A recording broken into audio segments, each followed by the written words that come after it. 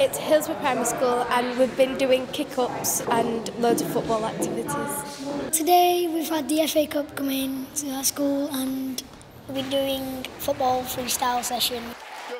When we were on the floor trying to do it all on the floor and that was just amazing. My favourite trip was the uh, Smackdown. I'll definitely be uploading a video and practicing it. It was amazing and very different to normal day.